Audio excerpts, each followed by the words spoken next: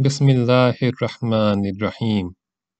अस्सलामुअलैकुम बराए मेहरबानी मेरी इस वीडियो को लाइक और शेयर करें और मेरे यूट्यूब चैनल को सब्सक्राइब करें।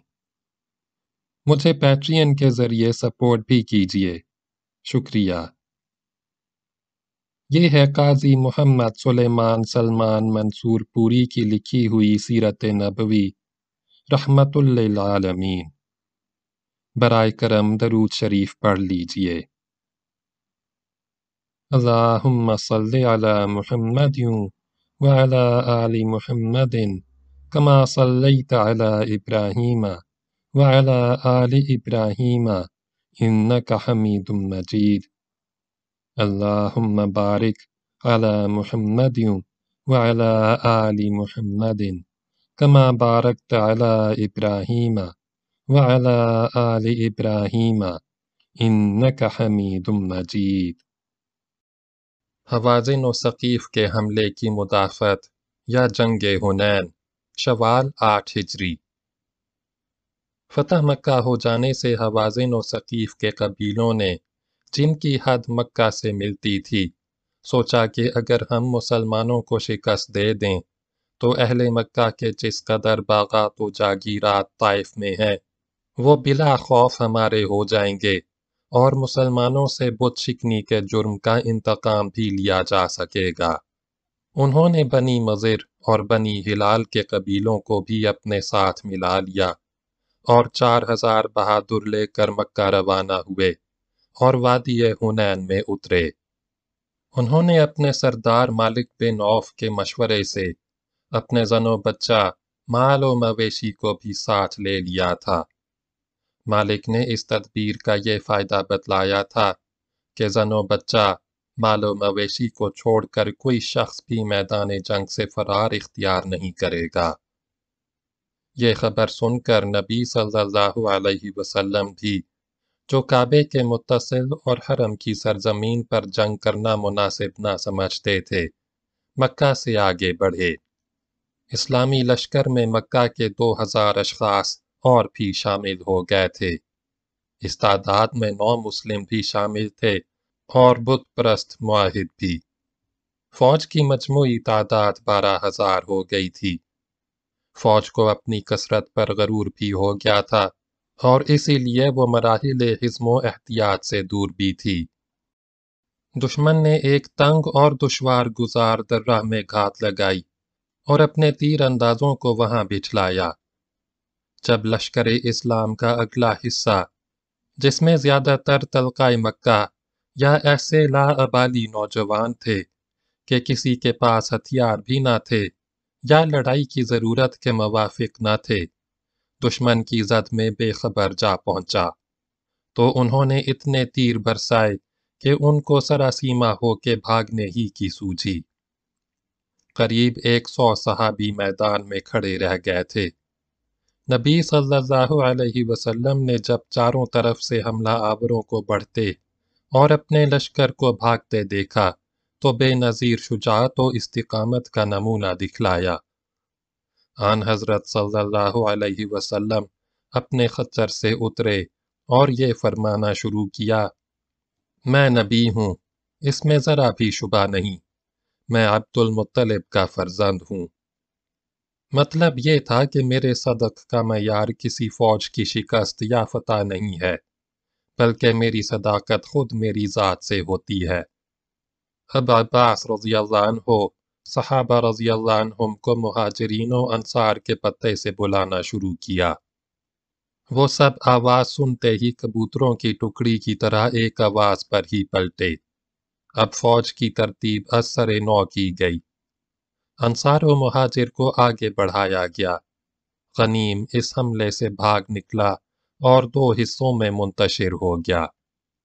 एक, उनका सरदार मालिक बिन औफ जंगी मर्दों को लेकर किला ताइफ में जा ठहरा। और दो, दूसरा गिरोह, जिनमें उनके अहलो थे और जरो माल थे, औतास की घाटी में जा छुपे। नबी सल्लल्लाहु अलैहि वसल्लम ने किला ताइफ के मुहासरे का हुक्म दिया और अवतास की तरफ़ अबू आमिर अशरी रज़ी अल्लाह को मामूर फरमाया। अबू आमिर अशरी रज़ी अल्लाह ने वहाँ पहुंचकर दुश्मन के अहलो अयाल और ज़रो माल पर कब्जा कर लिया। जब नबी सल्लल्लाहु अलैहि वसल्लम को औतास का नतीजा मालूम हुआ तो किले का मुहासिरा उठा देने का हुक्म दिया। क्योंकि उन लोगों पर अहलो अयाल के जाते रहने की भारी मुसीबत पड़ चुकी थी।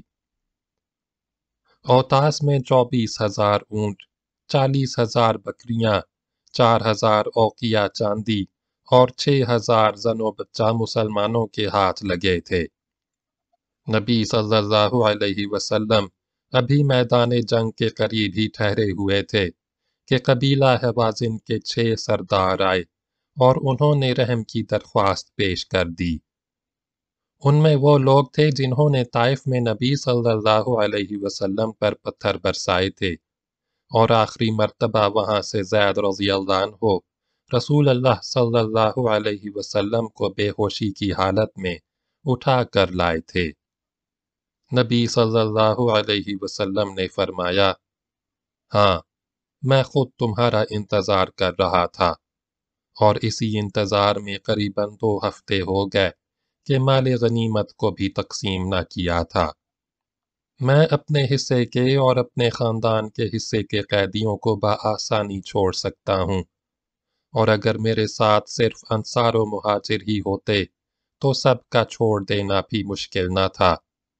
मगर तुम देखते हो कि इस लश्कर में मेरे साथ वो लोग भी हैं, जो अभी मुसलमान नहीं हुए। इसलिए एक तदबीर की ज़रूरत है। तुम कल नमाज़ सुबह के बाद आना और मजमयाम में अपनी दरख्वास्त पेश करना। उस वक्त कोई सूरत निकाल आएगी। फरमाया, तुम ख्वाह माल का वापस लेना पसंद कर लो। या अहलो अयाल का, क्योंकि हमला आवर लश्कर को खाली रखना दुशवार है। दूसरे दिन वही सरदार आए। और उन्होंने मजमायाम में अपने कैदियों की रिहाई की दरख्वास्त नबी सल्लल्लाहु अलैहि वसल्लम की खिदमत में पेश की। बेनज़ीर फ्याजी और रहम।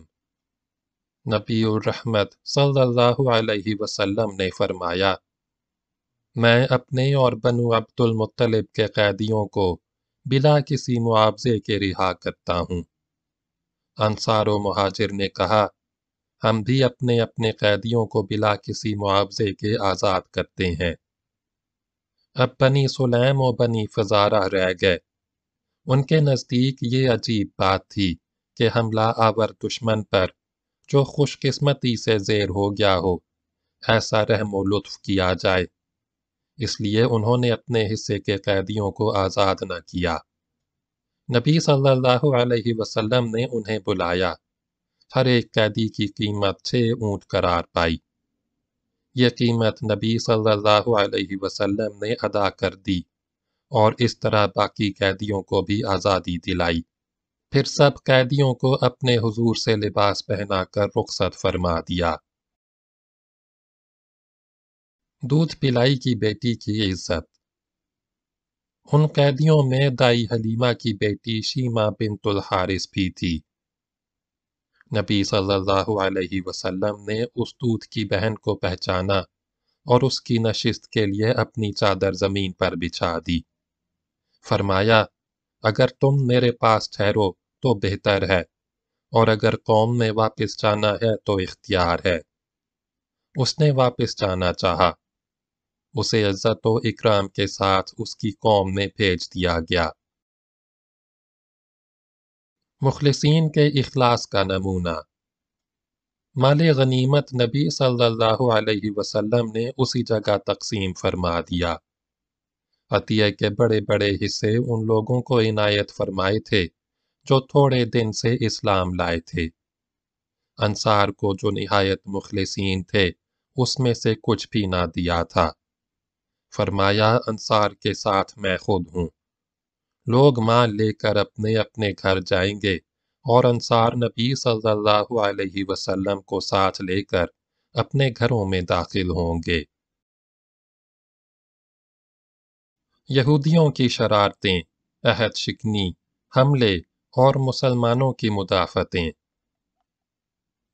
लफ्ज़ यहूद से अगरचे सिर्फ़ वही एक कबीला मुराद होना चाहिए, जो यहूद इबन याकूब की नस्ल से था। लेकिन इस्तिलाहन बनी इसराइल के बारह कबाइल ही का कौमी नाम यही पड़ गया। बनी इसराइल अपने इब्तदाई ज़माने में अल्लाह की मकबूल और बुरगजीदा कौम थी, लेकिन आखिर में वो अल्लाह से इस कदर दूर होते गए कि अल्लाह के गज़ब के मुस्तहक ठहरे। हज़रत मसीह सलाम जैसे रहम दिल ने उनकी हालतों को देखकर उन्हें सांप और सांप के बच्चे बतलाया था। और ये भी खबर दी थी कि अल्लाह की बादशाहत इस कौम से ले जाकर एक दूसरी कौम को दी जाएगी, जो इसके अच्छे फल लाएगी। जब इस बशारत के जहूर का वक्त आ गया और मोहम्मद रसूल अल्लाह सल्लल्लाहु अलैहि वसल्लम ने अपनी बेहतरीन तालीम की तबलीग शुरू कर दी तो यहूद ने सख्त पेचोताब खाया और आखिर यही फैसला किया कि मोहम्मद रसूल अल्लाह सल्लल्लाहु अलैहि वसल्लम को भी वैसे ही जुल्म सितम की आमाज का बनाया जाए, जैसा कि मसीह सलाम को बना चुके थे। यहूद अगरचे हिजरत के पहले ही साल मुहिदा करके अमन आमा के पैमान बाँध चुके थे, लेकिन फितरी शरारत ने ज़्यादा देर तक छुपा रहना पसंद ना किया। माहिदे से डेढ़ साल ही के बाद शरारतों का आगाज़ हो गया। जब मुसलमान नबी सल्लल्लाहु अलैहि वसल्लम के साथ बदर की जानिब गए हुए थे। यहूद की पहली शरारत बलवा कत्ल और इखराज बनो कैनुका उन्हीं दिनों का ज़िक्र है कि एक मुसलमान औरत बनो कैनुका के मोहल्ले में दूध बेचने गई। और चंद यहूदियों ने शरारत की और उसे सरे बाज़ार बुरहना कर दिया। औरत की चीखो पुकार सुनकर एक मुसलमान मौके पर जा पहुँचा। उसने तैश में आकर फसाद अंगेज यहूदी को कत्ल कर दिया। उस पर सब यहूदी जमा हो गए। उस मुसलमान को भी मार डाला और बलवा भी किया। नबी सल्लल्लाहु अलैहि वसल्लम ने बदर से वापस आकर यहूदियों को इस बलवे के मुतालिक दरियाफ्त करने के लिए बुलाया। उन्होंने माहिदे का कागज़ भेज दिया और खुद जंग पर आमादा हो गए। ये हरकत अब बगावत तक पहुँच गई थी। इसलिए उनको ये सजा दी गई कि मदीना छोड़ दें और खैबर में जा आबाद हों। यहूद की दूसरी शरारत नबी सल्लल्लाहु अलैहि वसल्लम के कत्ल की साजिश या जिला बनु नज़ीर। कुरैश की पहली साजिश के उनवान में लिखा जा चुका है कि कुरैश ने मदीने के बुत परस्तों को नबी सल्लल्लाहु अलैहि वसल्लम के खिलाफ जंग करने की बाबत ख़त लिखा था। मगर आन हज़रत सल्लल्लाहु अलैहि वसल्लम की ज़ीरकी और दानाई से उनकी ये तदबीर कारगर ना हुई। अब बदर में शिकस्त पाने के बाद कुरैश ने यहूद को फिर लिखा, तुम जायदादों और किलों के मालिक हो। तुम मोहम्मद से लड़ो, वरना हम तुम्हारे साथ ऐसा और वैसा करेंगे। तुम्हारी औरतों की पाजेबें तक उतार लेंगे। इस खत के मिलने पर बनु नज़ीर ने अहद शिकनी का और आन हज़रत सल्लल्लाहु अलैहि वसल्लम से फरेब का इरादा कर लिया। चार हिजरी का ज़िक्र है कि नबी सल्लल्लाहु अलैहि वसल्लम एक कौमी चंदा फराहम करने के लिए बनु नज़ीर के मोहल्ले में तशरीफ़ ले गए। उन्होंने आन हज़रत सल्लल्लाहु अलैहि वसल्लम को एक दीवार के नीचे बिठाया और तदबीर ये की कि इबन हजाश मलून दीवार के ऊपर जाकर एक भारी पत्थर नबी सल्लल्लाहु अलैहि वसल्लम पर गिरा दे।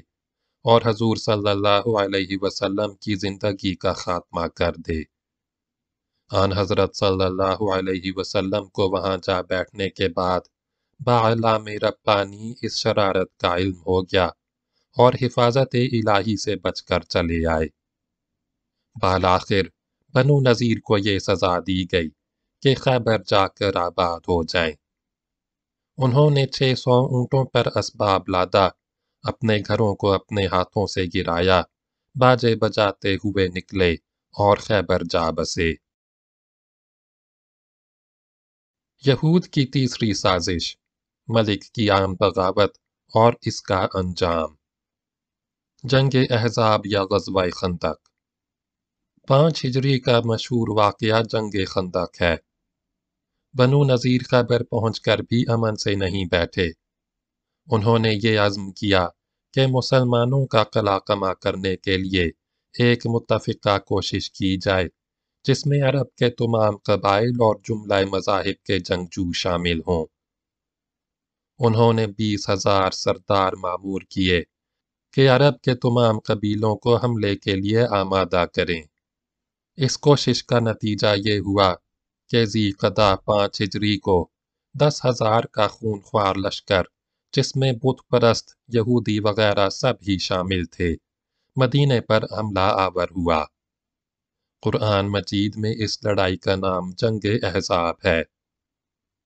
एक, कुरैश, बनु किनाना, अहले तुहामा, जेर कमान सुफियान बिन हर्ब थे।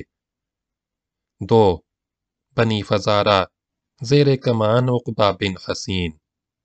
तीन, बनी मर्रा जेर कमान हारिस बिन औफ और चार, बनी अशजाओ अहल नजद जेर कमान मसूद बिन दखीला।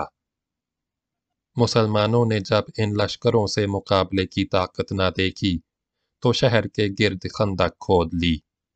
दस दस आदमियों ने चालीस चालीस गज खंदक तैयार की थी। सहाबा खंदक खोदते हुए ये शेर पढ़ते थे हम वो हैं जिन्होंने हमेशा के लिए मोहम्मद के हाथ पर बैत इस्लाम की है। सल्लल्लाहु अलैहि वसल्लम। खंदक खोदने, पत्थर तोड़ने, मिट्टी हटाने में नबी सल्लल्लाहु अलैहि वसल्लम खुद भी सहाबा रज़ी को मदद देते थे। सीना मुबारक के बाल मिट्टी से छुप गए थे और इबन रवाह के अशार जेल को बाआवाज बुलंद पड़ते थे। अल्लाह, तेरे सिवा हमको हिदायत थी कहाँ? कैसे पढ़ते हम नमाजें, कैसे देते हम जक़ात?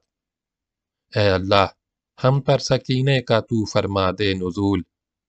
दुश्मन आ जाए तो हमको कराता यारब सबात।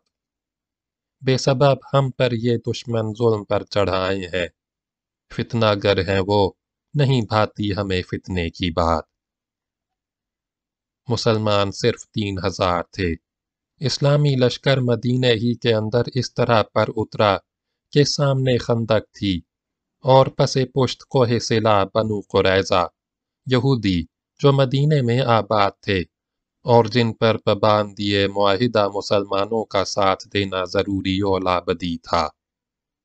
उनसे शब की तारीकी में हई बिन अख्तब यहूदी सरदार बनु नज़ीर जाकर मिला। और उन्हें नक्ज अहद पर आमादा करके अपनी तरफ़ मिला लिया। नबी सल्लल्लाहु अलैहि वसल्लम ने अपने कई नकीब भी उनके पास बार बार समझाने को भेजे, मगर उन्होंने साफ़ साफ़ कह दिया, मोहम्मद सल्लल्लाहु अलैहि वसल्लम, कौन है कि हम उसकी बात माने? उसका हमसे कोई अहदो पैमान नहीं।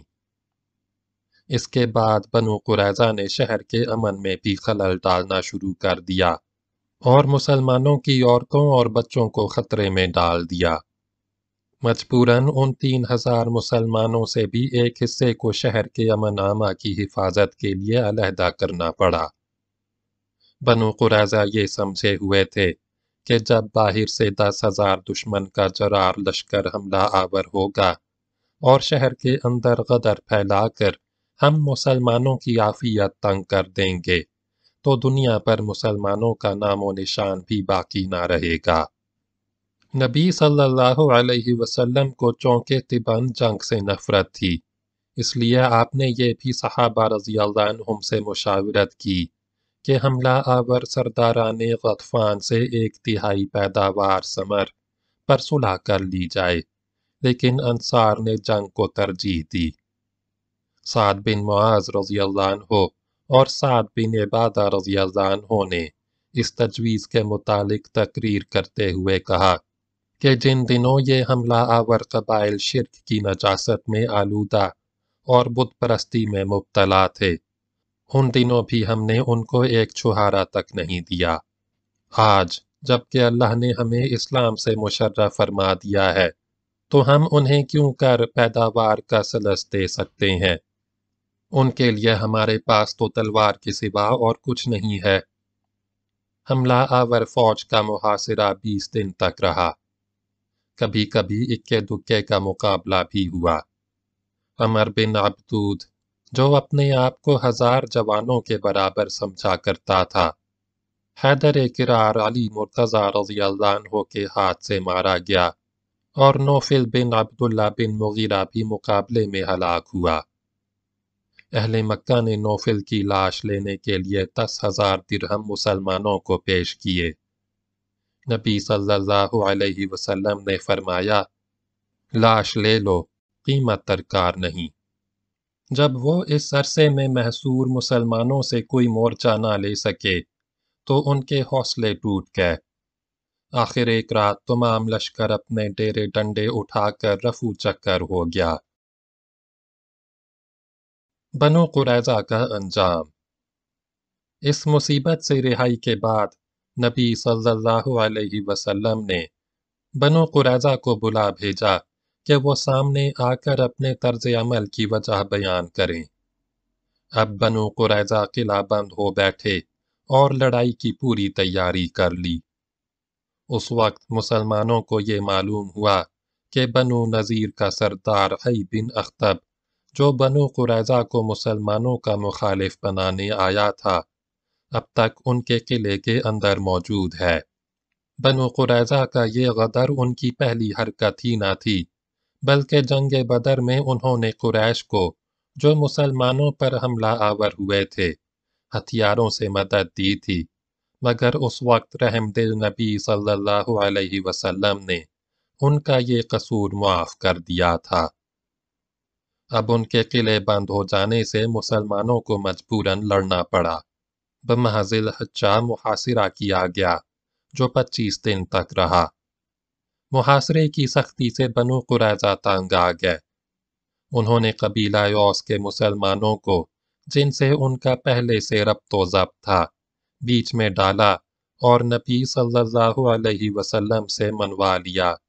कि बनु कुरैजा के मामले में साद बिन मुआज रज़ी हो जो औस के सरदार कबीला थे हकम तस्लीम किया जाए जो फैसला साद कर दे अल्लाह का नबी सल्लल्लाहु अलैहि वसल्लम उसी को मंजूर कर ले बनु कुरैजा किले से निकल आए और मुकदमा साद बिन मुआज रज़ी अल्लाह के सपुर्द किया गया अल्लाह जाने बनु कुरैजा के यहूदियों और औस के मुसलमानों ने साद बिन मुआज रज़ी अल्लाह को हुक्म बनाते हुए क्या क्या उम्मीदें उन पर लगाई होंगी मगर ज़रूरी तहकीकात के बाद उस जंगी मर्द ने यह फैसला दिया एक, बनु कुरैजा के जंगजू मर्द कत्ल किए जाएँ। दो, औरतें और बच्चे ममलूक बनाए जाएँ। और तीन माल तकसीम किया जाए। इस फैसले की तामील के मुतालिक सही बुखारी में जो रिवायत अबू सईद खुदरी रज़ी से है, इससे ये तो मालूम होता है कि जंग आवर मर्द कत्ल किए गए थे, लेकिन इस हदीस के मुतालिक सामीन ये भी याद रखें कि यहूदियों को उनके अपने मुंतखब करदा मनसफ ने करीबन वही सज़ा दी थी। जो यहूदी अपने दुश्मनों को दिया करते थे और जो उनकी शरीयत में है। हमारे पास ये अमर बावर करने की वजूहत और नज़ायर मौजूद हैं कि अगर बनु कुरैजा अपना मामला नबी करीम सल्लल्लाहु अलैहि वसल्लम के सपुर्द कर देते तो उनको ज़्यादा से ज़्यादा जो सज़ा दी जाती, वो ये होती कि जाओ खैबर में आबाद हो जाओ। बनु कैनुका और बनु नज़ीर का मामला इसकी नज़ीर है। नबी सल्लल्लाहु अलैहि वसल्लम ने उन बनु कुरैजा से भी पास को रहम शाहाना से इस फैसले की तामील से मुस्तना फरमा दिया था। मसलन ज़ुहैर यहूदी के लिए माँ अहल व फर्जंद व माल रिहाई का हुक्म दे दिया था और रफ़ा बिन शमुएल यहूदी को भी जान बख्शी फरमा दी थी। बकिया अगली वीडियो में सुने।